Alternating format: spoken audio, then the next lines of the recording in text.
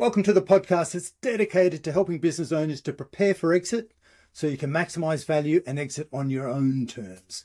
This is the Exit Insights podcast presented by Succession Plus. I'm Daryl Bates Brownsword, and today I'm talking to Jamie Brownlee from Green Target. Green Target is a specialist PR firm. And I thought, look, we, we haven't spoken about PR and preparing your business and, and presenting your business, you know, commercially and, and on the front foot uh, when you're getting ready for exit. So it, was something I hadn't thought about before. And so I approached Jamie and, and we had a conversation to prepare. So, hey, welcome, Jamie. Thanks for joining us today. Thank you very much for having me on, Daryl. That's great. So, Jamie, Give us a little bit about your background because when we spoke, you told me that you're already doing a lot of work in helping business owners prepare their, their business uh, from a communication and presentation perspective well in advance of, of them thinking about exit, but with an exit in mind. How, how, how does a PI, PR go fall into that?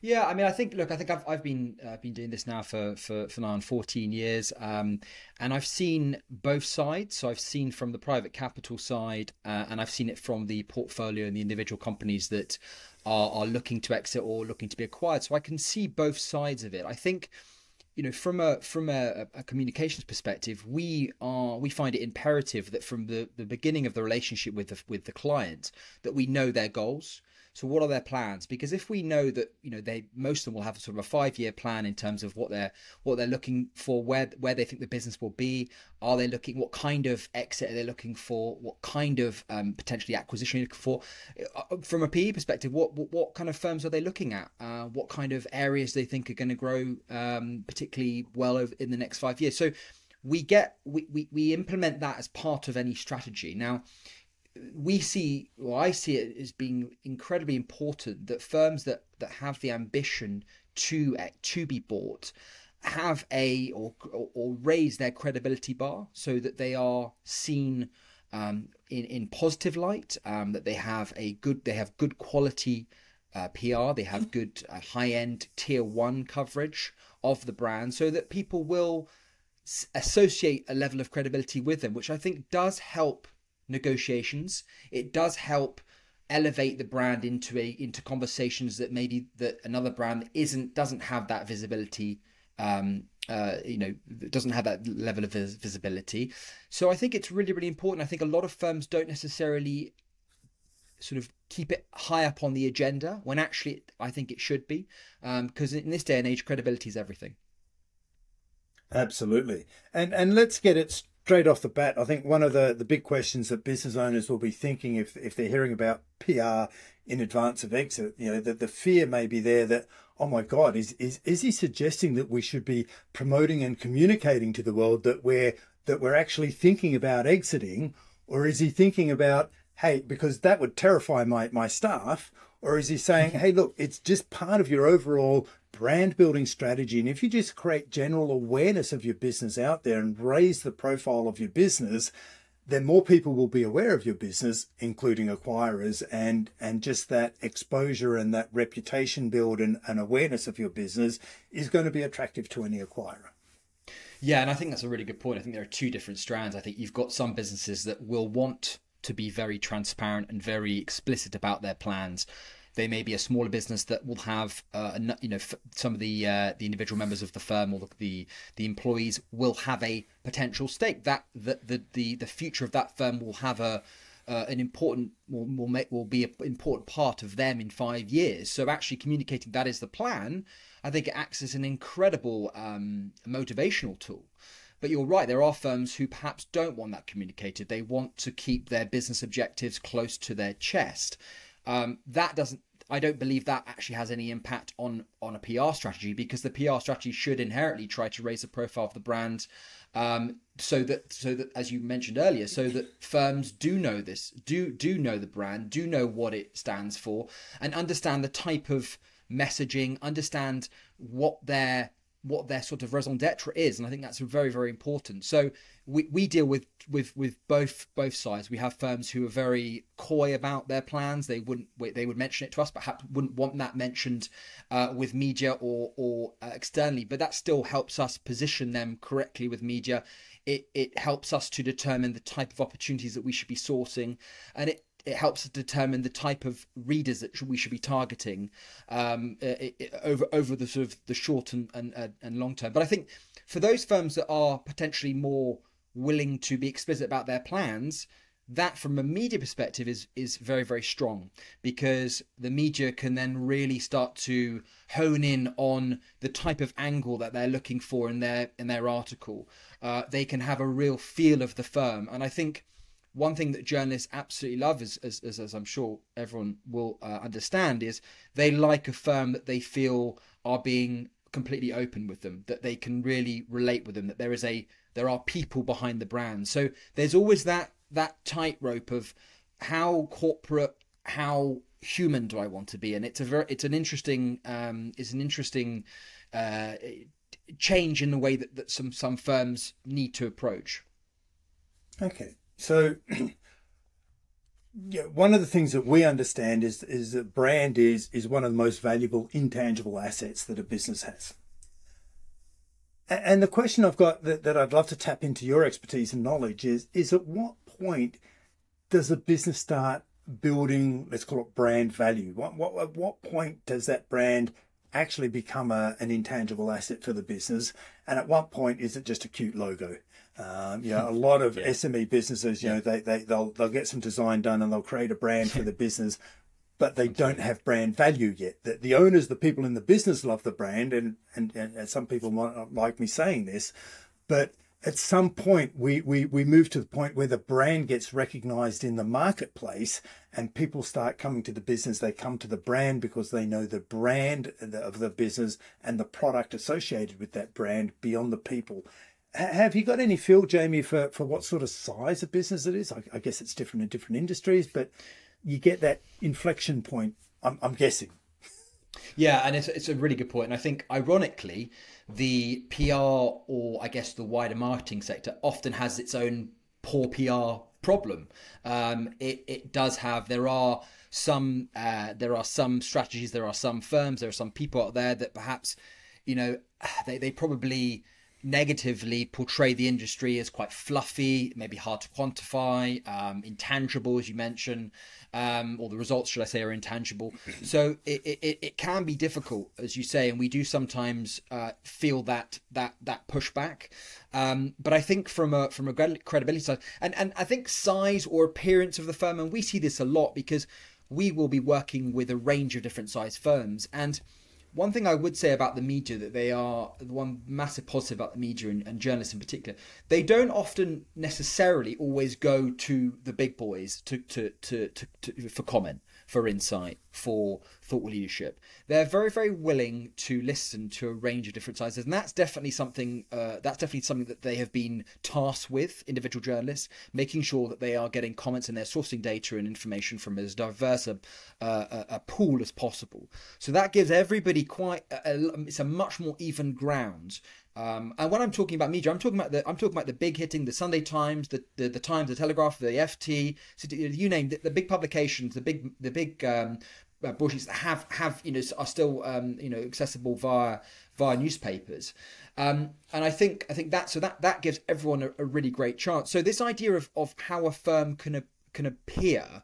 So if it, it comes to the negotiation table, it comes to the point of exit yes, the numbers, and yes, you'll get all, a lot of the information from your P&L.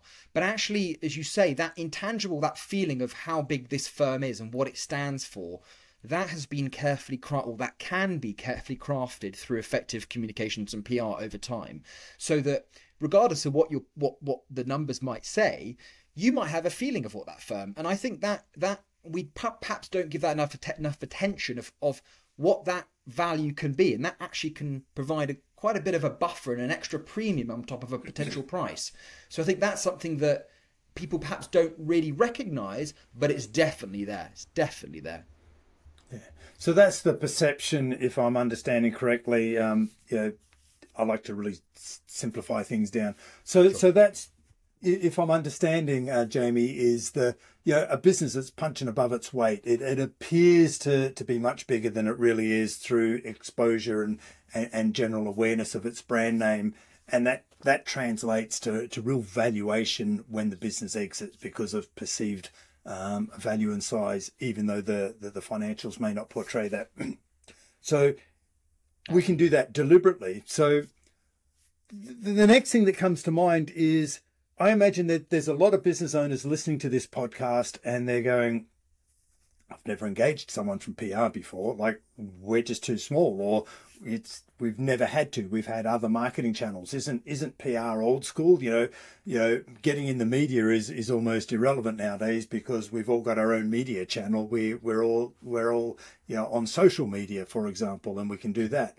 So, can you give us some examples of of what the sort of things you would actually do and achieve for an, a, an organization in by by engaging and working with someone to consciously develop their PR strategy.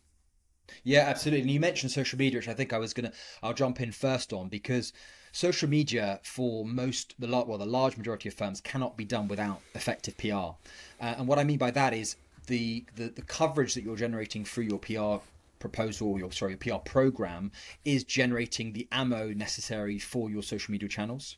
So it's providing that third party accreditation via the media that that will help you to engage with your clients and prospective clients. So it's absolutely fundamental. I, you know, I, I, it, firms that want to jump into social media without having a good PR um, program in place they will run out of information, um, I think, quite quickly. And we see that quite a lot. So to keep the momentum, to keep the content, to keep that li- uh, almost that, that liquid feel of, of, of an account, of a social media account, it's really important to have coverage and to be generating really good news that's coming out of, the, of your content. So that's really important. I think in general, the way we try and structure a program for, for, for clients is it, it's looking at the things that you're what are you what are you, what is your growth plan? What is it goes back to those kind of milestones so what where are you doing things positively? Where are you recruiting? Where are you partnering? What products are you producing? What services are you producing? Etc so it's really it's really blowing your own trumpet. And i think in the uk we often have a bit of a problem with this but um, but we're getting better. Um, but i think it's really important for companies to do that.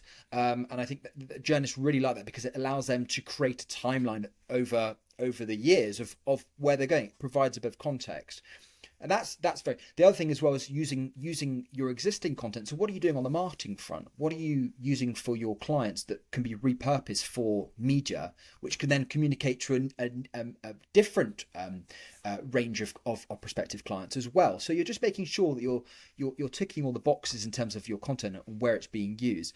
One of the, the big areas that we have seen massive growth over the last few years and an area that works particularly well for smaller firms is is, the, is what we like to call newsjacking, and that's finding interesting pieces of news, finding interesting pieces of data, different interesting developments in your industry, and jumping on them with short comments, jumping on them quickly uh, and effectively, using often using a PR firm like ours, or or or you can do it yourself, but it, it you really rely on good relationships with media, which obviously a PR firm will provide.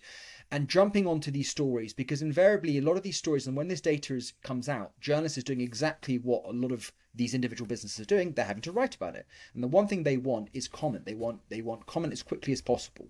So we do that very very effectively with smaller firms who maybe don't have as much of their own news. So you're manufacturing news and and interesting news hooks for your client uh, what it, what, that does over time is it it make it makes you or makes the firm allows the firm to join the the dialogue with the with the bigger firms. So and, and, and you can see this by simply typing in the, the, the client's name over time and you'll see on Google from a search engine optimization that firm is appearing higher and higher up. Uh, it's and the level of, of, of or the type of coverage it's receiving is is is, in, is increasing that credit or, or raising that credibility bar. So it's a really effective way of joining a dialogue without having to say too much about yourself. So you don't have to necessarily come at come at it from a point of saying this is where we are, which which can, as you know, as as as can happen, it can diminish your chances because your AUM might be a lot lower than the rest of the industry. You might be one of the smaller players. So it allows you to join a conversation. So that's a really integral part of any program that we will always suggest. And then alongside that, you've got your your you mentioned it earlier, your your classic, your kind of um, you know, the, the classical PR tactics of making sure you re- meet the right media, making sure you're on features, making sure you're, are, how, how are you with regards to awards? Are there any awards you should be entering? Are there any conferences you should be, you should be attending?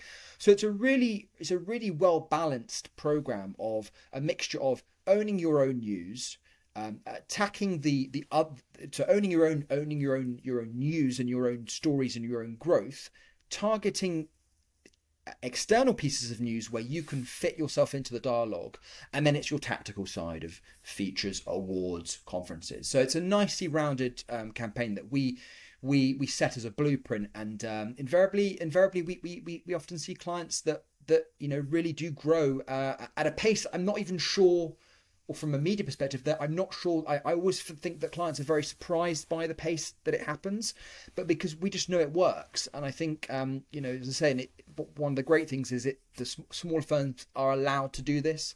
That journalists are not just going to the, the, the, classic firms, the classic big firms as they did before. They are very much more um, you know, open to suggestions from from a variety of different size firms. So, so you you, touched on a few things there, Jamie. So I think we said, look, one of the things we need to be doing is, hey, look, and I didn't think, I'm not sure you said this, but, you know, media outlets, I, I guess, are looking for news, aren't they? Um, yes. And they're looking for, for in, in the commercial areas, they're looking for good news stories. So they're always looking for reliable sources to tap into. and bad and, news and stories I, as well, I must say. sure, yeah. yeah, unfortunately. A bit of controversy. yeah, um, yeah, yeah. And and you said one of the things you can do is is newsjacking, which I which I quite liked. I thought, hang on, he's onto something here, a bit of disruption, and and yes. and piggyback on other people's stories where you provide commentary, industry insight, um, and that helps you become a voice or a spokesperson for the industry. If you become a known spokesperson, you become, you know, they'll come to you again and again and again and go, you know, what's his, what's her insight on, on, on this story? What's, what's the, their perspective on this? They, and, and they're always looking for someone who can, you know, isn't camera shy and, and can, can share a story and, and think on their feet and, and come up with a response. So if you can do that, that's really helpful that would then help you become, I think, yeah, my, my, my colleague Daniel Priestley um, would, would call a key person of influence. You know, so you become the spokesperson, the voice of the industry, the go-to person because you're knowledgeable on all things for the industry, which is just going to raise your profile and awareness and, and, and get you referenced more, therefore appear on SEO. Um, have I captured the gist of it there?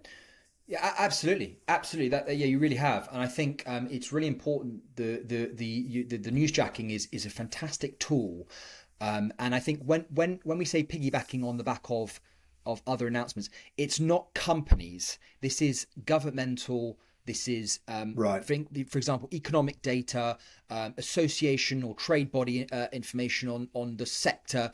It's it's independent data and announcements so that you are not necessarily jumping on the on the bandwagon and raising the profile of of, of a potential competitor. It's independent organizations and, and association data. That that and and and as you can imagine, everyone's everyone's looking at that. Journalists are looking at that. Hence why it's a great way of doing it. The other thing as well, which the reason why this works so well for smaller firms is because they don't necessarily have the levels of red tape that a bigger firm will have.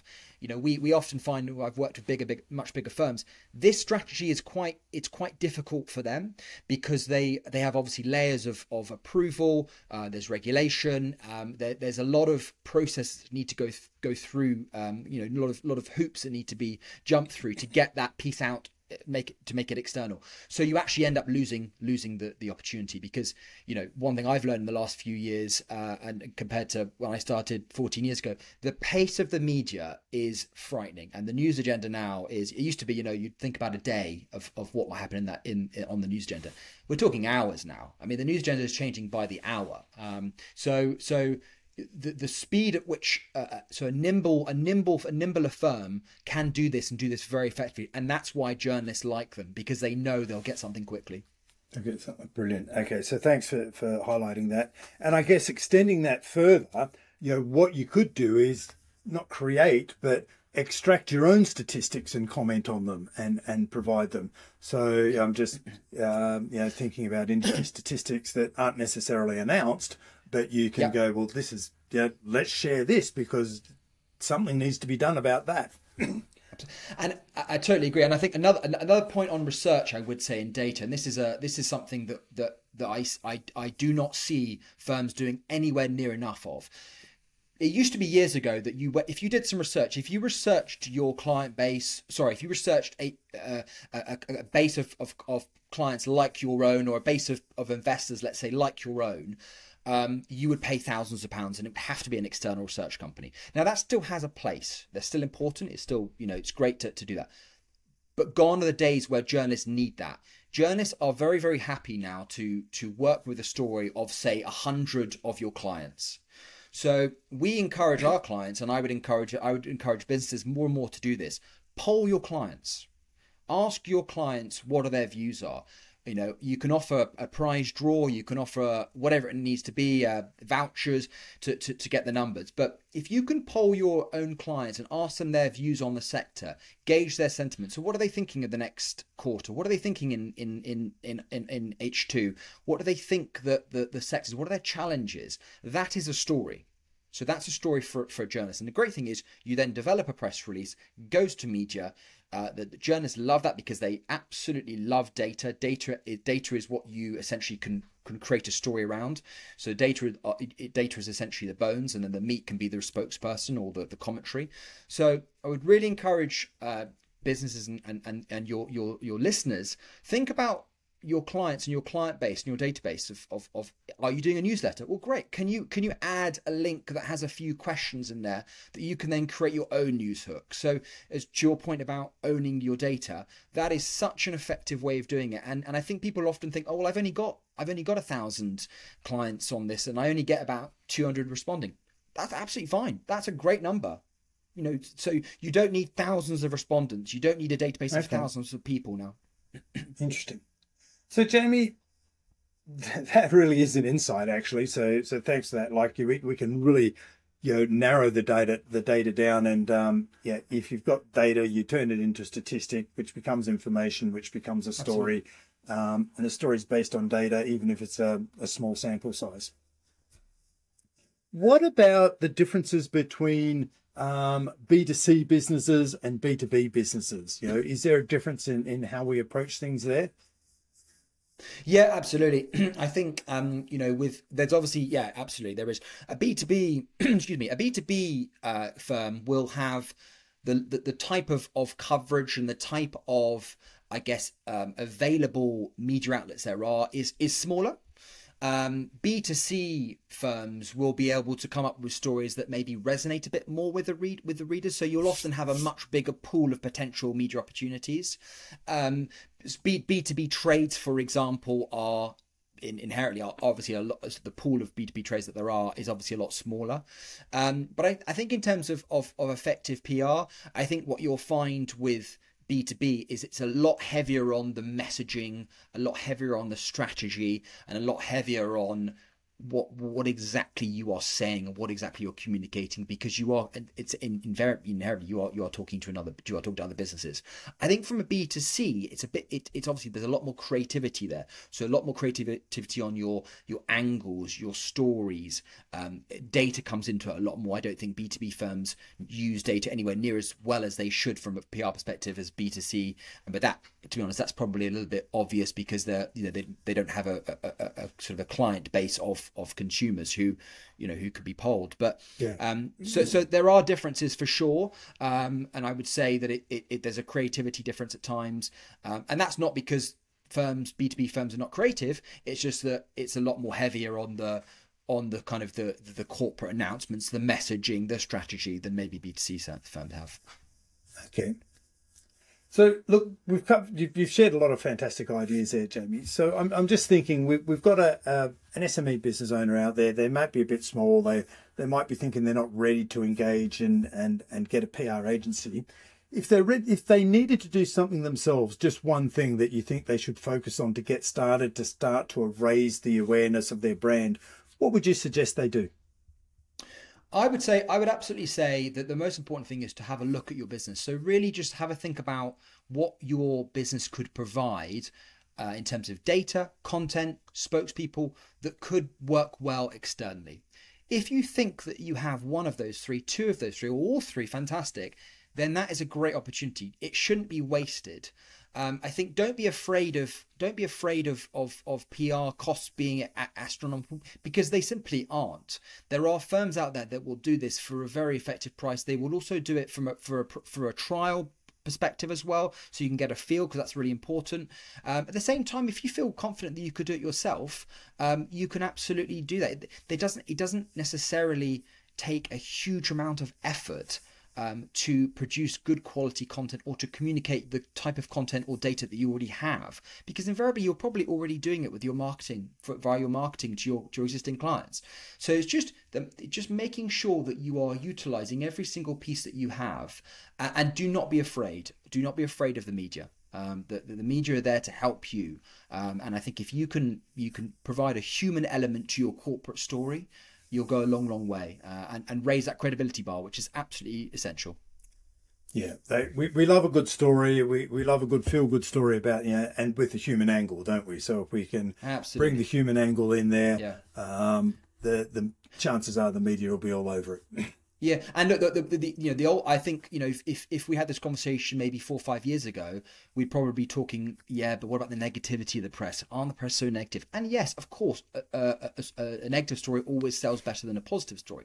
However, we have certainly seen a shift since COVID to, towards the business sector of media being far more receptive to good stories, far more, I would say, uh, open to good stories and good growth stories because I think we all needed. It. I think I think the media really did respond to uh, COVID and how tough that was for a lot of businesses. So good news stories are easier to sell in than they were in previous years. Okay, well that's interesting and and and great to know. And uh, yeah, from a personal factor, I, I, I like the fact that we're you know we're starting to think a bit more about positive and, and good news stories. Absolutely. Okay. Absolutely. So Jamie, look, I'm just thinking this through. We've got um, uh, so many angles and areas that, that someone could focus on. We we acknowledge that our brand is is an intangible asset, um, and and it can be a, a, significant value asset when it comes to exiting our business. And and yeah, even though it doesn't appear on the balance sheet, it is there. And if if strategically worked, can create significant asset value even for a smaller business. Um, we've gone, it doesn't happen by chance. We, we need to get on the front foot in, in getting the messaging out and getting clever with the stories that we pull together and, and pitch um, and present to media outlets if we want them to reshare the story for us. Um, we, we want to grab data um, and information that's out there that's publicly shared and provide opinion on this uh, because that creates a good angle. We've got to continue with our own um, social media and and have a, a, a content plan around that. We could use yep. some help with that so that we don't run out of ideas, so that we get a pattern and a theme going. You've covered a whole lot, but but business owners, we, have already already got a lot on our plate. We've we've got a number of things we're going through. We've got a you know, there's always so much we've got to work on as a business owner. If if you were to suggest that there's one thing, one key message that you want business owners to take away from our conversation today, um, one nugget of advice, what would you you want them to to take I, away? I, I, I think everything you've just said there is absolutely on the money and exactly um, you know condensed really nicely. One thing I would say, don't leave it too late don't leave it too late because what you don't want to happen is you say you're on a five year journey and you go, oh, we don't need PR or we can't afford PR. And year five comes along and you think, right, okay, we're we're in a good we're in a good position. We think we're ready for that five year. We're, we're on target. We're ready for we're ready for for, for, for to, to, to be purchased now, and to, to, we're looking for a buyer. At that point, you're already too late if you're starting PR because you haven't created the dialogue, you haven't laid the groundwork, you don't know the journalists, you haven't communicated what you do particularly well, you probably haven't owned a section of the media via good data, um, and and you probably haven't inserted your brand into dialogues with bigger brands so that when it comes to a negotiation table, you might you might get get you know get some interested buyers that think you appear bigger than you are, and that point we made earlier.